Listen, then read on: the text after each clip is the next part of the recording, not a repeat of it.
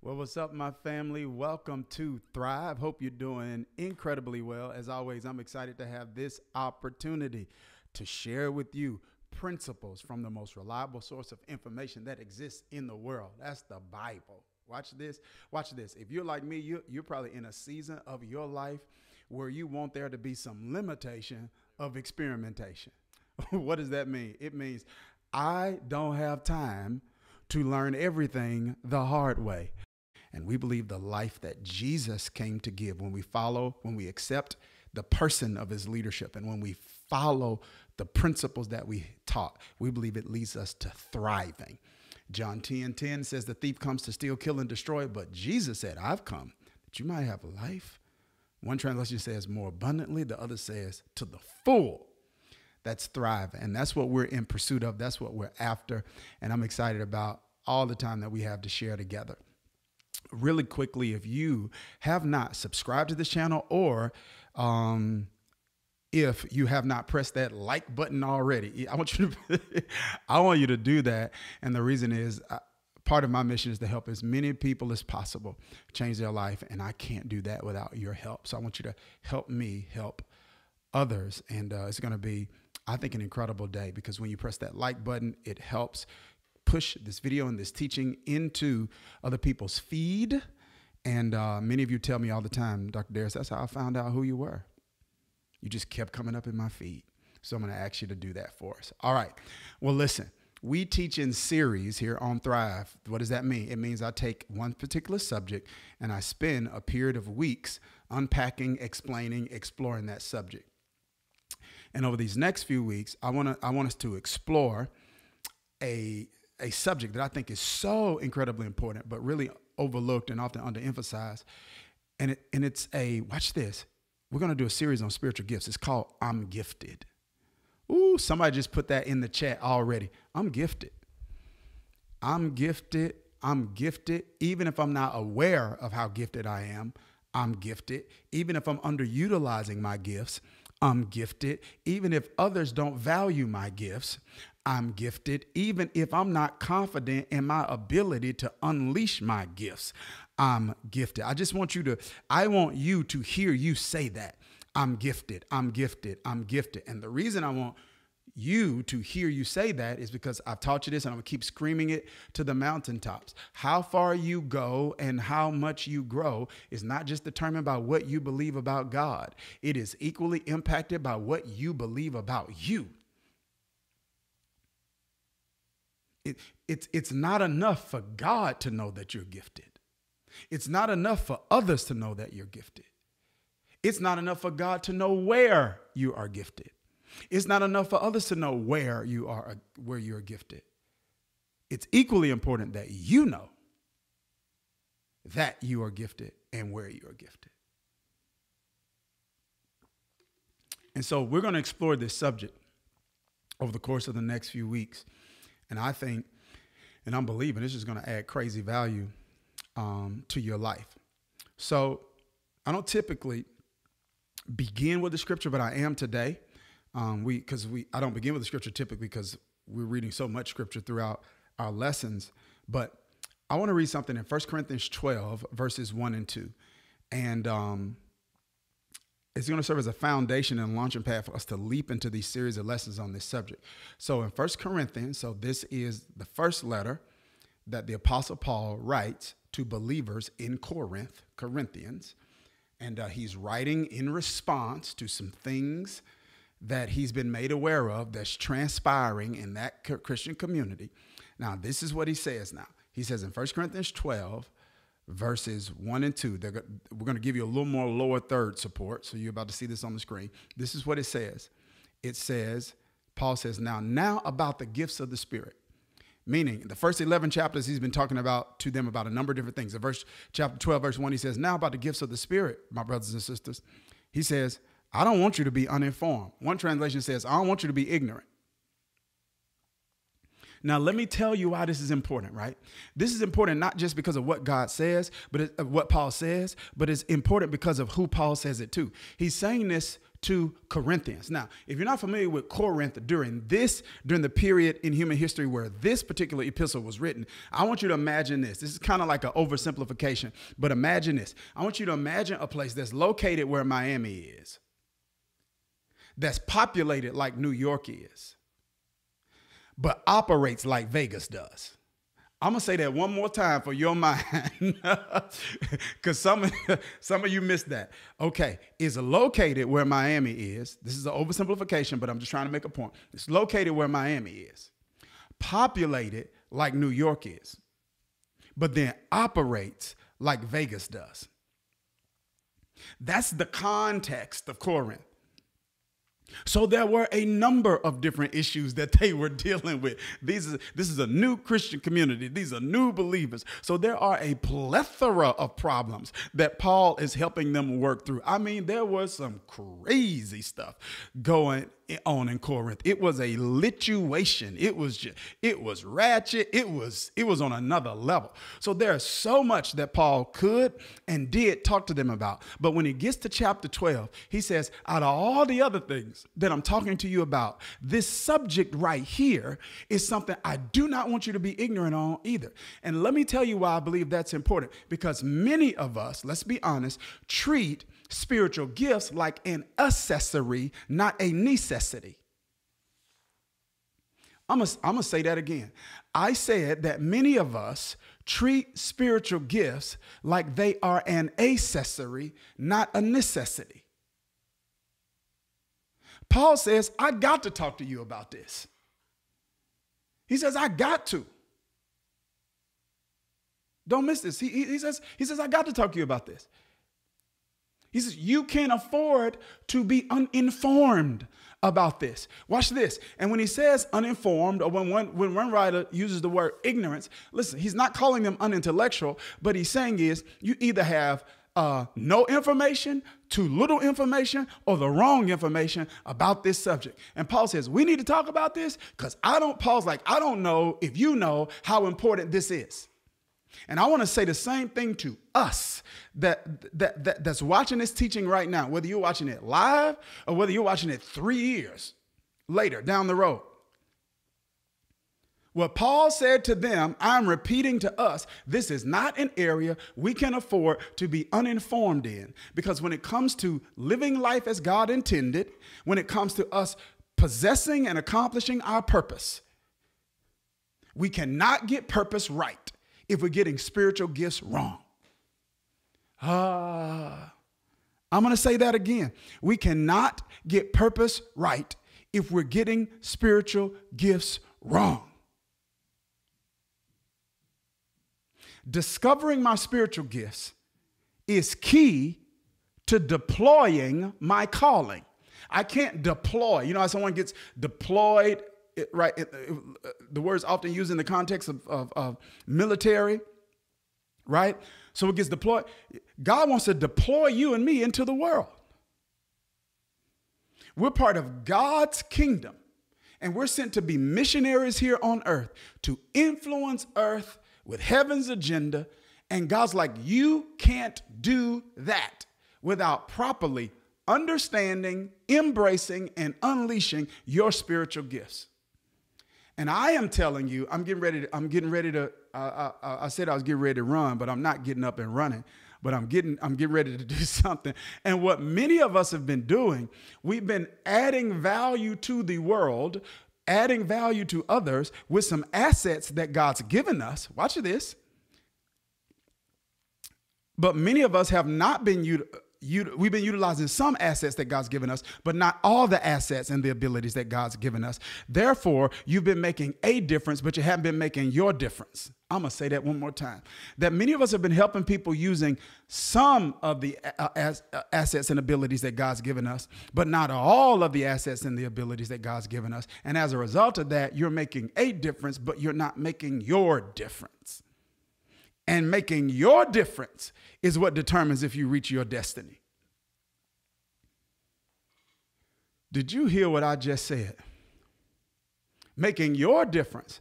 I mean, this is so important that in Matthew chapter 7, Jesus is uh, having a conversation and, and, and he says, listen, he says, not everybody says, Lord, Lord. I don't know if you're familiar with that scripture. He says, but not everybody says, Lord, Lord, be, you know, a part of the kingdom of heaven. He says, people are going to say, well, didn't I like prophesy in your name? And then I perform exorcisms in your name? And didn't I help people in your name? He says, depart from me, you workers of iniquity. I never knew you. It's like just because I'm making a difference doesn't mean I'm making my difference, the difference I've been called and created and commissioned to make. And the reason I'm so passionate about this, and the, the reason I believe this is such a big deal, ladies and gentlemen, is because your fulfillment and your flourishing and your fruitfulness is tied and tethered and connected to your purpose. The acquisition of possessions do not give you long-term fulfillment. There's not enough bags in the world to make us happy. Not enough shoes in the world to make us happy. Not enough cars in the world to make us happy. Not enough cribs in the world to make us happy. Not enough clothes in the closet to make us happy. Most of us have clothes we rarely wear. Like, you give me a Daniels Den t shirt, I'm straight. Think about that. It doesn't, you don't go in your closet and smile. Like, ah. Because fulfillment, come here, is not an outside job, it's an inside job. And I'm trying to, I'm trying to get us to see that I, I won't be fulfilled and I won't be flourishing. Ooh, how many want to flourish? Say me, me, me. I want to flourish. I want, I want to flourish. I want to flourish emotionally. I want to flourish relationally. I want to flourish spiritually. I want to flourish professionally. I want to flourish financially. And I am telling you, there is no, watch this, there is no neutral when it comes to flourishing. You are either improving or declining. Ooh. But somebody put in that chat, it's up from here. It's up from here. Yeah, can't be fruitful, can't be flourishing, uh, can't be fulfilled, can't be flourishing, can't be fruitful without getting this purpose thing right. And you can't get this right without getting, if you're getting spiritual gifts wrong. Let me let me unpack this. What I mean. Let me unpack what I mean a little more. If if are y'all following me? If you feeling me, not just hearing me, but if you're feeling me, just put yes in the chat. I want you to feel my heart. I want you to feel the importance of this. Uh, I want you to feel how important this was to God. So God made it important to Paul, how important this is to me, how important this needs to be for us. It's so important to me. My next book that's coming out in September is on this subject. It's not on the subject of spiritual gifts, but it is on the subject of purpose and how you cannot accomplish your purpose until you understand, embrace, and unleash your unique design. So some people like, I know what I'm called to do. Not if you don't understand your unique design, you don't. Because some people think just because they're making a difference, they're making their difference. I'm helping people and people are being blessed and I'm opening doors and I'm starting companies and I'm doing this and I'm doing that. And that's great. That's making a difference. And yes, we should make a difference. But what God also wants us to make is our difference. Our difference. Let me ask y'all something. When y'all remember David fought Goliath, when David protected his father's sheep from a lion and a bear, would y'all say that's a good thing? I would. I say it's a really good thing. He's making a difference, protecting his father's sheep from a lion and a bear. That's a really good thing. It's a big thing. But if that's all he did, he would not have accomplished his purpose because protecting his father's sheep from the lion and the bear was making a difference. Defeating Goliath was making his difference. And I'm telling some of you right now who are watching this, your Goliath is waiting. It's time to stop celebrating what happened with the lion and the bears. Let's have appreciation.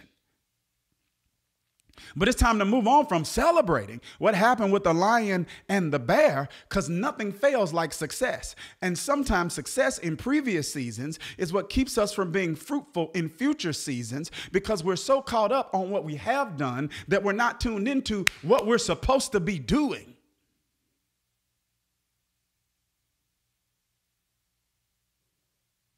Come on. So David made a difference, but not his.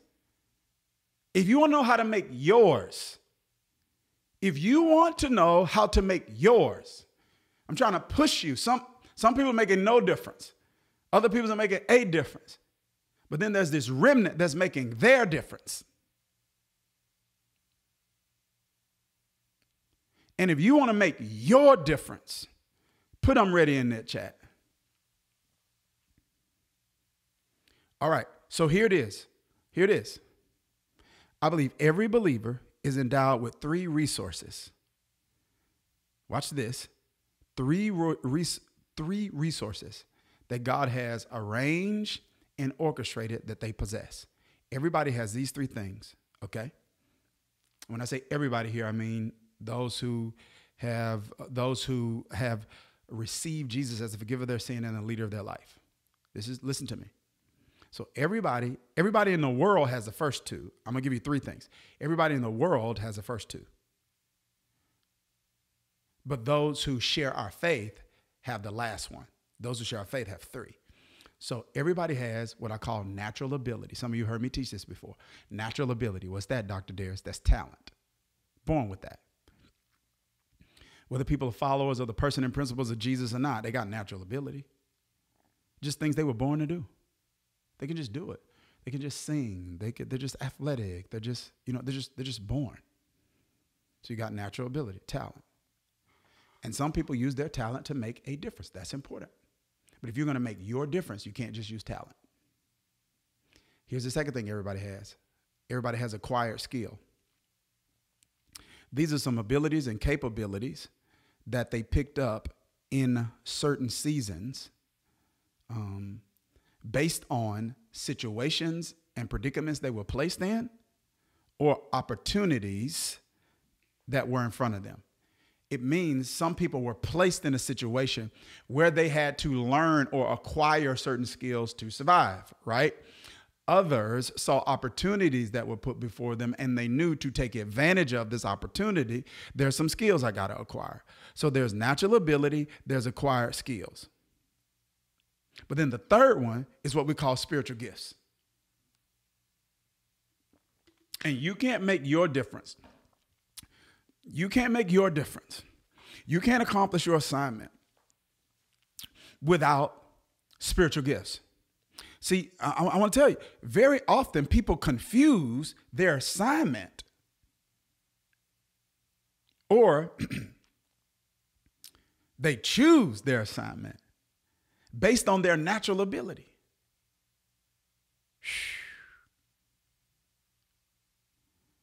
I want you to catch them. Catch that. I'm not saying that God doesn't give and doesn't use our talent.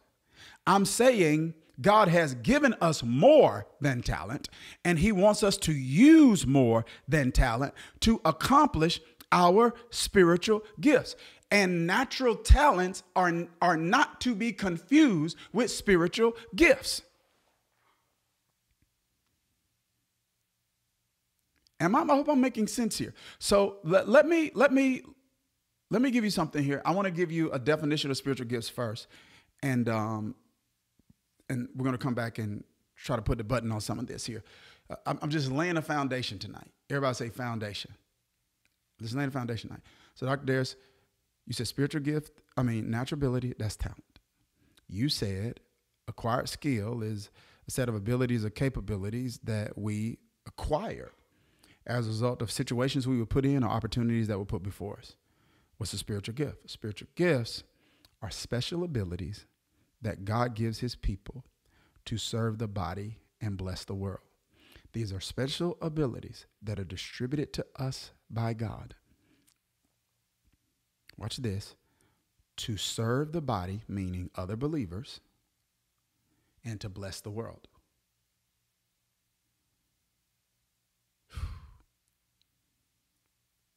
I want you to catch this to serve the body. Okay.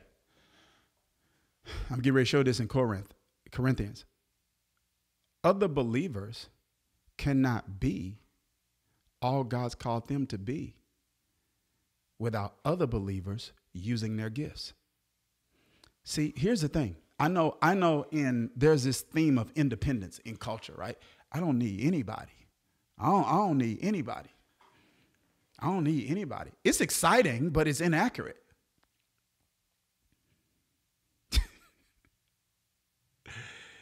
Did you hear what I just said? It's exciting, but it's inaccurate. So, in the world, very often you got two extremes. You got extreme independence, where people operate in isolation and just assume incorrectly, I don't need anybody. All right. Then you've got extreme codependence, where people are over, overly relying on other people that they can't operate and thrive and function independent of the assistance, the, the endorsements, and the affirmation of those people.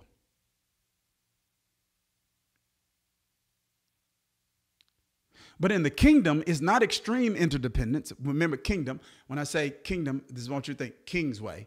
Uh, just put Jesus' way. That's what I want you to think about. Whenever I say, I say kingdom, I want you to think Jesus' way, right? Because sometimes Christians aren't like Jesus. Got me? Okay. So I want you to catch this. So in the in the world, it's extreme independence, extreme codependence. In the kingdom, when you live in the king's way, it's interdependence. I don't have extreme independence and I don't have extreme codependence, but there's this healthy recognition that God gave somebody else something he did not give me. And when they properly steward and multiply and unleash what he's given them, it benefits me. So, right now, God, one of the spiritual gifts God's given me is the teaching gift. Watch this. So, this is my hope and my prayer. My hope and my prayer is when I use my teaching gift, it's adding value to you. Does that make sense? You pray on your own. Yes. You study the Bible on your own. Yes. Yet and still, there are insights and perspective and things of that particular nature that you get as a result of someone else using their teaching gift. Sometimes you're reading the same Bible, same scripture, but God's given that person a teaching gift. So that person has what's called eagle eyes. So they look at the same, like an eagle could, like some, some um, have suggested that an eagle can see like a rabbit hiding in the bushel like a mile away. Like it's just this amazing eyesight. And so God gives his teachers eagle eyes. And it's like, man, we're reading the same Bible and I understand it and I'm applying it. But man, when he explains it or teaches it, I'm like, how you see that in the Bible? Where was that? And some people automatically assume, oh, that's seminary, that's training. No, it's a spiritual gift.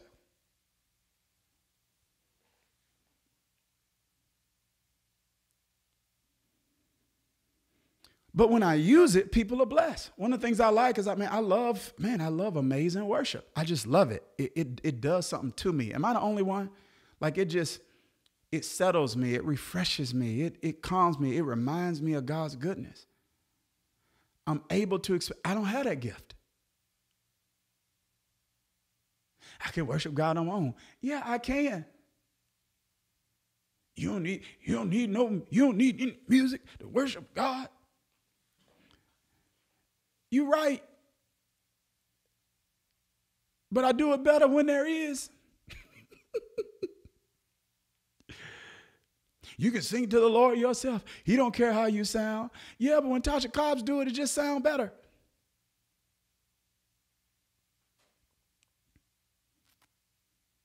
So my relationship with God, I remember one time I sent William McDowell a text. I was like, William, bro, I just want to, I want to thank you for creating music that helps me get closer to God.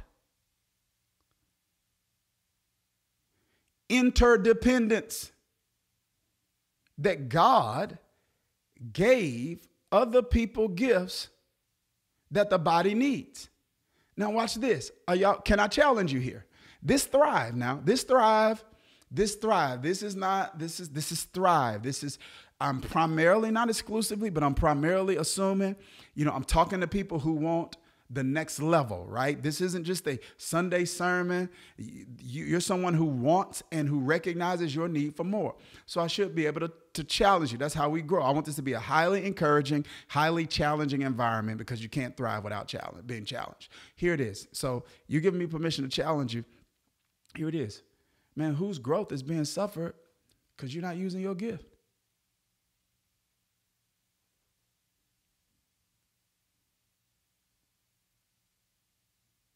I, I want that to be, I want you to sit with that for a minute. Because you've just been using talent, which is important, but it only goes so far. You've just been using acquired skill. That's important, but it only goes so far. Your spiritual gifts give you an unteachable, uncommon IQ. Uh, it's just, it's something, it's something, I don't care how many books you read. Your spiritual gifts give you something you can't get in a book. It gives you an intuition, and your intuition is the X factor. That intuition where you just know, like, hmm, I, I, need to say this, I don't need to say this. I, comes from spiritual gifts.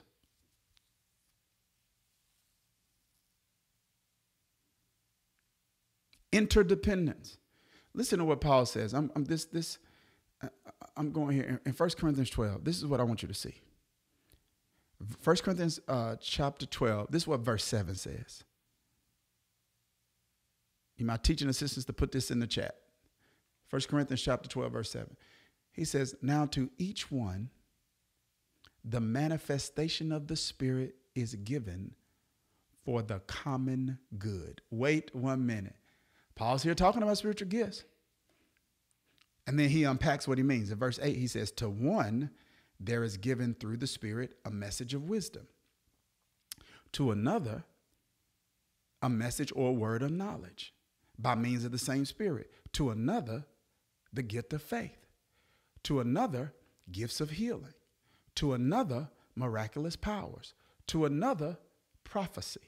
To another, the ability to distinguish between types of spirits.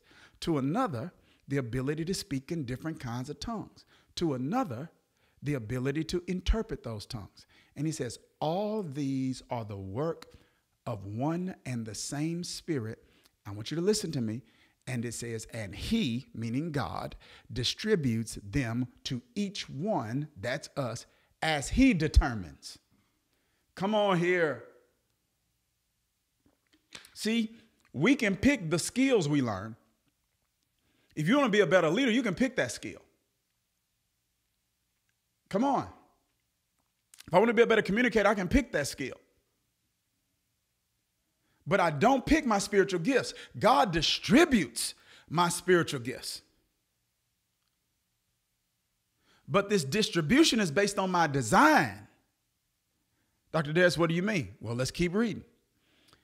In verse 12, Paul says, Just as a body through one has many parts, but all of its many parts form one body, so it is with Christ. We're all baptized by one spirit, so as to form one body, whether Jews or Gentiles, slave or free. We're all given the one spirit to drink, even so the body is not made up of one part, but of many.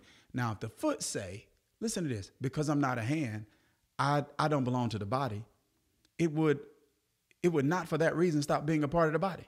If the ear should say, I'm not an eye, I don't belong to the body it wouldn't stop being a part of the body. If the whole body were an eye, where would the hearing be? If the whole body were an ear, where would the sense of smell be? Now, uh, so now do you see? Imitating somebody else's assignment is not just unwise, it's unbiblical. Did you hear what I just said? Uh, it's borderline satanically influenced. No matter what the intentions are.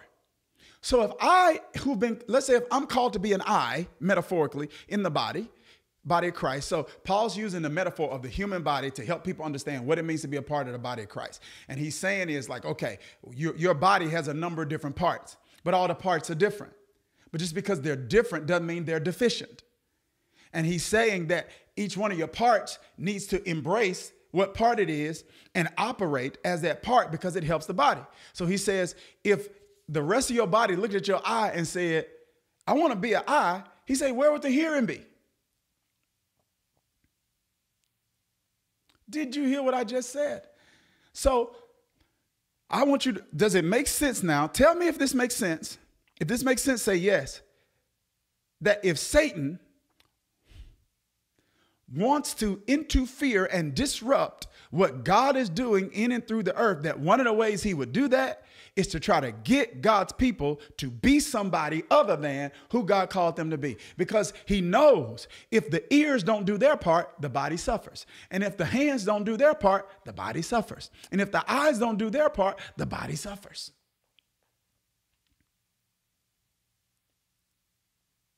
And I'm going to tell you something. I don't I don't even have time to deal with this. I might have to circle back to this next week. I might be in this series longer than I thought because I hadn't even really got to got to the meat of the message. Yet. We're just digging. We're doing some foundation. And I think one, there are two things that's, that's coming to my mind that the enemy uses to get us to become clones. There should be no clones in the kingdom. Should other people inspire you? Yes. Should you learn from other people? Yes. Are, are there going to be things that you take from other people and implement into your own life? Absolutely, 100%. I have. But what you admire about other people should inspire you to be you, not to be them. Guys, one time I was in a meeting with my team. This was on the, uh, I think this, uh, I don't know if it wasn't my business team, but it's my church. It was two staffs. So anyway, um, I was in a meeting one time and I said to the team, I said, now listen. God's not called you to be me, He's called you to be you. You you can't be you if you're trying to be me.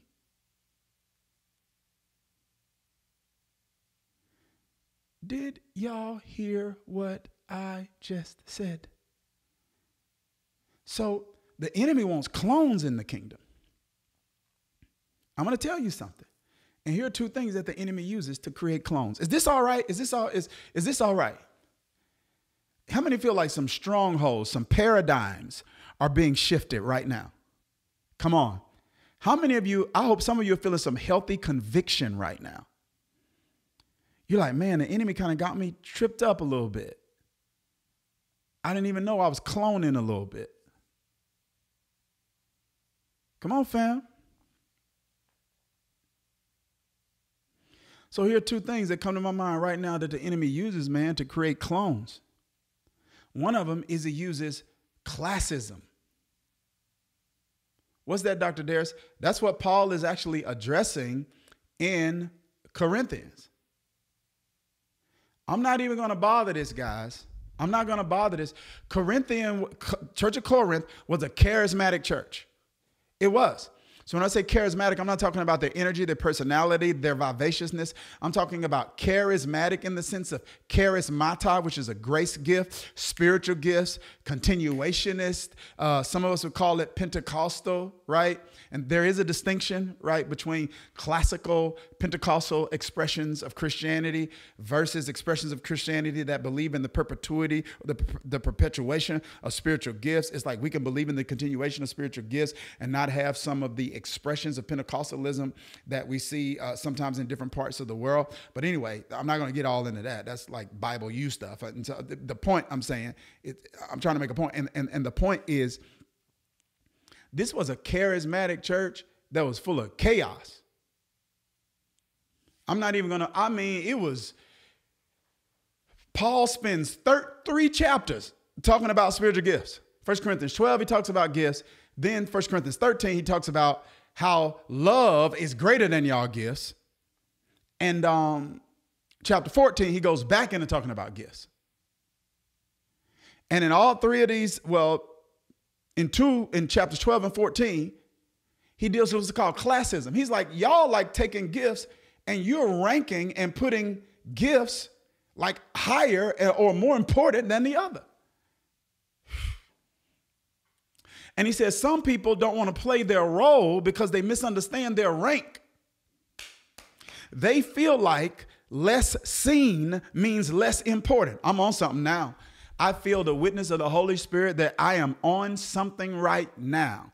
I am telling, I'm on, um, the Holy Spirit is dealing with something right now. He is uprooting something right now. He's removing something right now that a mindset and a perspective and a paradigm that's really a stronghold because there are people who have let other people contribute to them feeling insignificant because they're less seen.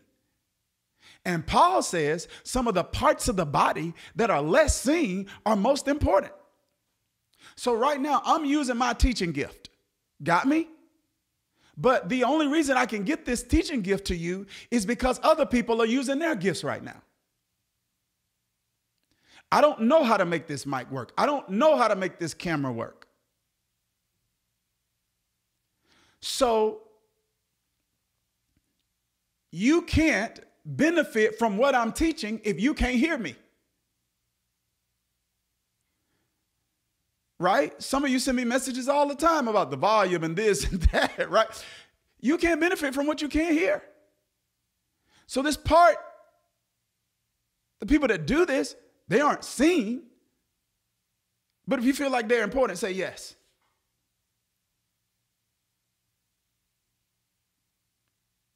And many of us are not playing our role. You're not making our difference because it's not significant. I'm on something. Because you feel like, excuse me, because it's not seen. It's significant. But in your mind, it's not significant because it's not seen. Period. Period. Period. And it's untrue. And some people are not even prospering and thriving because they're trying to occupy a role they aren't even called for. I see this so much, it's really scary. And I thought it was just in the church space, it is also in the entrepreneurial space. I see the same trends. Um, it's like, uh, yeah, some trends aren't even church trends. They're just cultural trends that manifest themselves in Christian context, maybe in some distinctive ways, but it is the same thing. It's like in the entrepreneurial space, there is almost like this classism that exists where if you have your own business, you are higher in rank than someone who works for someone else. So it's like people have great and amazing jobs, end up feeling less significant than other people who feel like they have their own business. And it's like they have their own business with no insurance. They have their own business. Not every, right, everything that glitters is not gold. So sometimes you're feeling, it's easy to feel, you can feel less than about something that you're actually greater than. Like, I'm, I got my own business with no insurance. Because they got the business, but they can't afford insurance. I got my own business, making less than what you're making. They making less, working harder because the average entrepreneur does not work 40 hours a week. So, am I saying entrepreneurship is wrong? Of course not. I teach, I mentor, I coach kingdompreneurs. Of, of course, I'm an entrepreneur. But I, I want you to see the point that that classism is not real. And the enemy wants to use that to get people to jump out of their roles. In the business space, I don't know why the Holy Spirit has me on this. I'm telling you, more often than not, there are people who are leaving jobs to create companies when they actually should just be creating companies while they're at their job to create a stream. Like, they, some people are not going to get in the overflow just by creating a company. They're not built that way, they're not wired that way, they're not called to that. Some people are better partnering with other people. But if in my head I got to be the man or I got to be the woman, I'll jump out here by myself and struggle when I could have kept my job, create that's a stream of income, then launched a business, created another stream of income. Now I'm in overflow, as opposed to leaving this lake, which is my job, and now trying to live off a stream.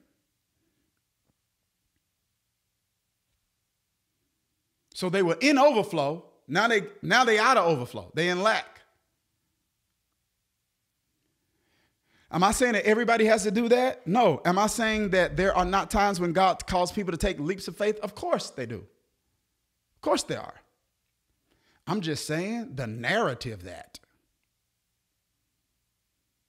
having my own is better than partnering or working for or working with someone else It's just not true. It's classism and it shows up in the church. It shows up in people who should be a part of church leadership teams that start their own churches. It's like he should preach, he could start his own church leading a church isn't about preaching. You, preaching is the least thing you're going to do. You're only going to do that 40, 45 minutes a week. That's the least thing you're going to do. Is the gospel important? Absolutely. But if all I can do is preach, I need to be a part of a preaching or teaching team. I need more than pastoral or shepherding gifting to pass. You need a, we, a person needs a leadership gift. Can I lead?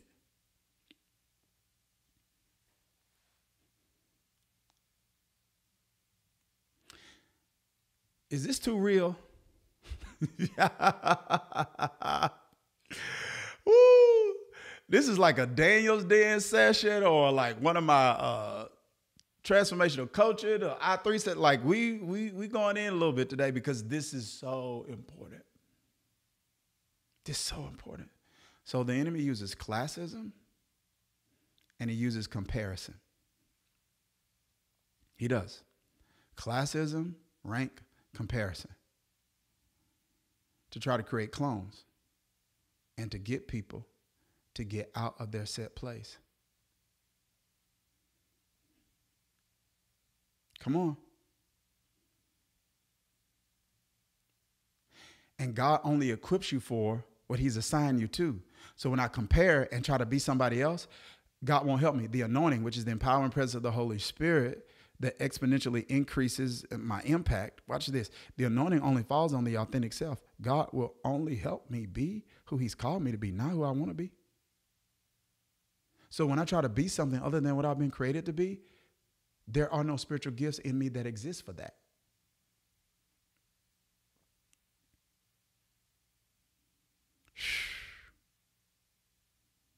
This is important, guys. This is so important. I got it's going it's going to take me a while to get through this series. I see we got a lot of foundational work to do here. I really sense that. But I'm trying to get you to see you gifted. Not just I'm gifted. You might be looking at me like, you're gifted. You're gifted, Dr. Des. No, I need you to see you. Your life doesn't just change by you seeing me right. You got to see you right. You need to see me right? Yeah. I'm not a prophet, but here's the here's the scripture. Receive a prophet in the name of a prophet, you'll receive a prophet's reward. What's a prophet's reward? Prophecy. You receive how you perceive. Like if somebody's teaching you the word of God, you're like, ah, that's just whatever then that affects how you're going to receive. But if there's anticipation, expectation, this is a person that God is gifting and assigned in this area to open up the book to me to help me see things I didn't see before, you'll receive that way. Isn't that what happened with Jesus in Mark 6? Prophet is not without honor except for his own home. Isn't this the carpenter's son? It says he could not do many mighty works there because except for lay his hands on a few sick people and heal them because of the way they saw him. Some saw a carpenter's son, they got their house fixed. Some saw a Christ, they got their life fixed. You perceive how you receive. So yeah, of course you need to see other people right. I'm saying though, you need to see you right too. And you need to see that God's giving you some spiritual gifts and uh, as we get a little later in this series, I want you to understand what spiritual gifts are first. And some of you, I'm going to have you take or retake a spiritual gifts assessment. Some of you, here, here's what some of you, here's, here's what some of you are going to do. And you're impatient and it's going to cause you to be confused. Some of you are about to get ready to run and try to find a spiritual gifts assessment and take it. And all you're going to be is more confused because you don't have a, even if it, See, my, my mentor in business teaches us don't let what you do know get in the way of what you don't know. So even if you have a understanding of spiritual gifts, doesn't mean you got a right one. So maybe God's trying to reteach you and reestablish your understanding of it first so you can understand it better. So I'm to encourage you if you're watching this, don't run out and take one right now. Let us recommend one to you that we feel like is credible and um, let us walk you through some, some, some content uh, that'll help you understand it properly. But I want you to see that you're gifted. And that it's time for some of us to stop operating just with natural ability. Let me just show you real quick how your spiritual gifts work in partnership with your natural ability and your acquired skill, and how when you do not understand, embrace, and unleash your spiritual gifts, you underutilize your talent and your acquired skill. So your natural ability and acquired skill go to another level when you use your spiritual gifts. They limit it in how much they can do without your spiritual gifts. Let me give you two examples real quick, okay? So let's say uh, like one of the teams we have at our churches, at our locations, they're called temple teams. And these are people who have the ability to make sure things are right with our facilities and our properties, okay? So temple teams. Now, these people can have natural talent to fix things, they can have acquired skill to fix and build things. But if they do not have a helps gift, oh, the gift of helps, if they don't have the helps gift, then they won't be servant hearted enough to be willing to use their natural ability and acquire skill. Did y'all miss what I just said? So it doesn't matter if they got the gifts to do it, but not the gift of helps. That helps gift is like, I can see a need.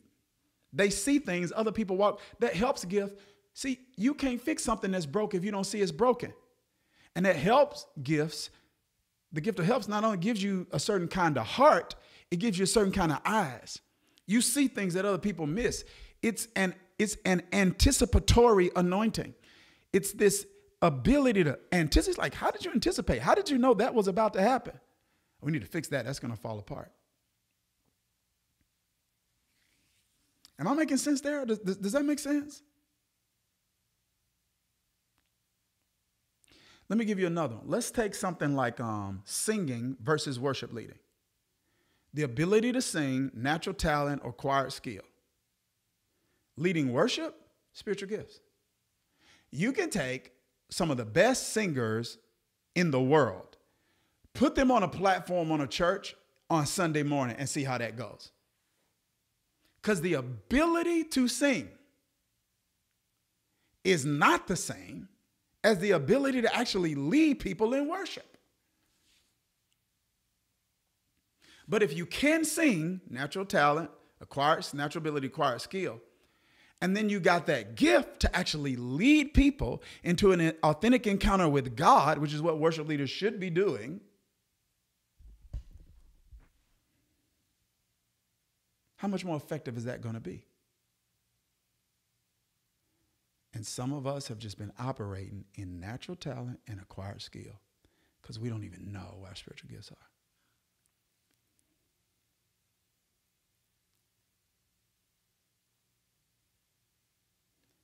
But God's about to unlock some things in you that are going to, ooh, I felt that. Somebody put in that chat, unlock me.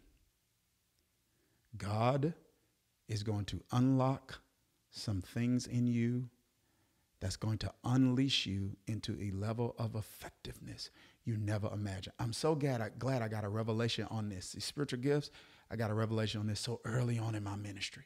It changed everything.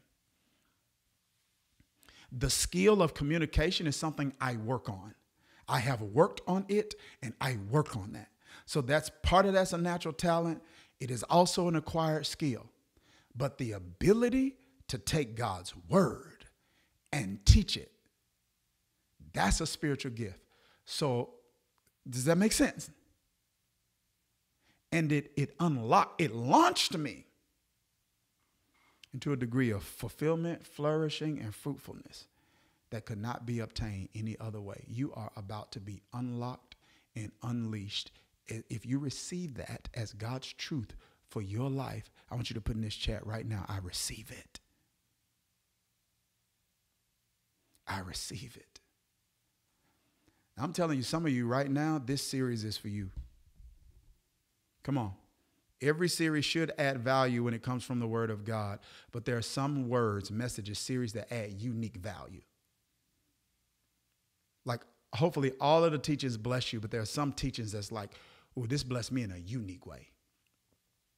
God's pushing me here. And that's what God's doing. He's pushing you. He's pushing you.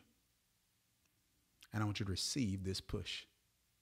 I am gifted.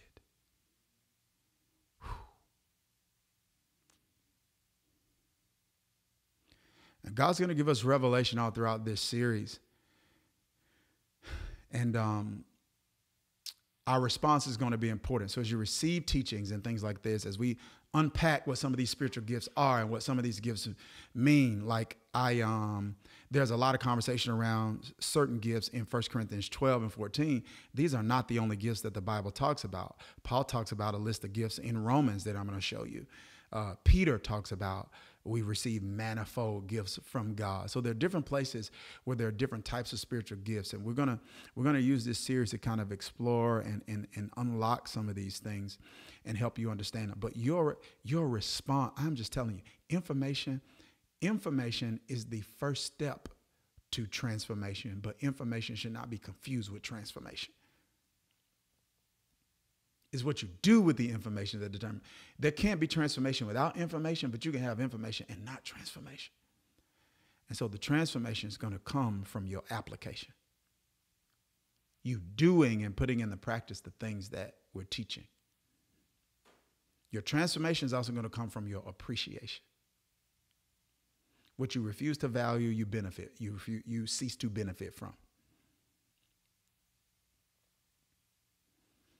So this is why I think even things like like you know our appreciation through our offering is important.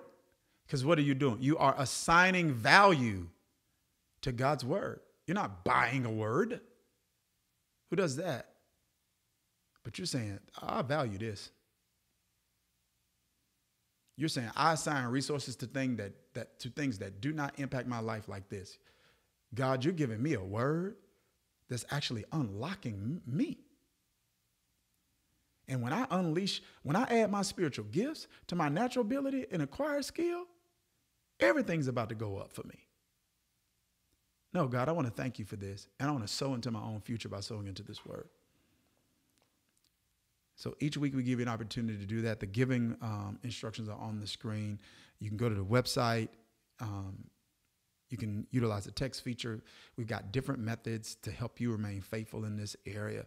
And so we want to encourage you to do that. For some of you, this is kind of the well you're drinking from in this season. Um, some of you, we have, yeah, I, I don't want to even get into like my assignment and those that I'm called to reach, but some of you, like this ministry is kind of like this is this is your well that you're drinking from in this season. You're coming from some situations, church wise, has got you questioning even church in general. And right now, you kind of locked in in this ministry because you you feel like okay, this is safe, but you've been burned so bad, you still you side eyeing me a little bit.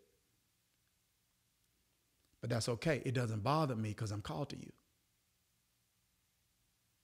I was born for you, so it, doesn't bother me.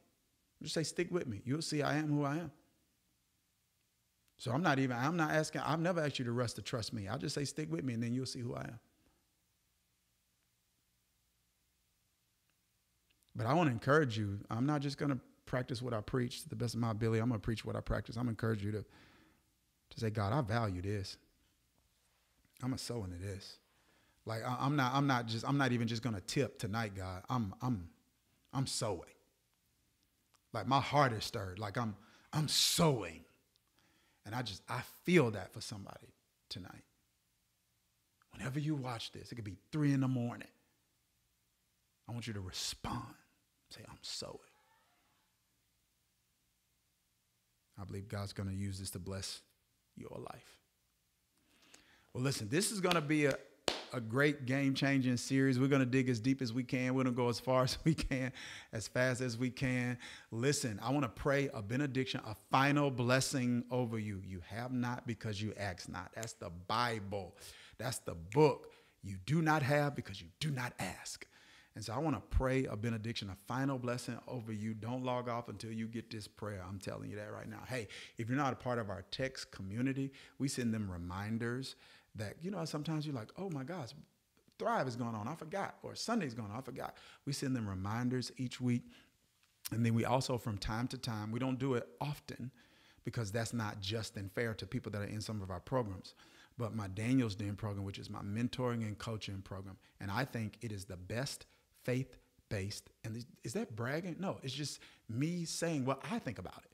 I think it is the best faith based development program out there because it covers four areas spiritual intelligence, we help people get better spiritually, emotional intelligence, we help people increase their emotional intelligence, relational intelligence, and their leadership intelligence, all based on principles from the Word of God, using as a rubric the life of Daniel in the Bible. It's the best program, and to me, to me.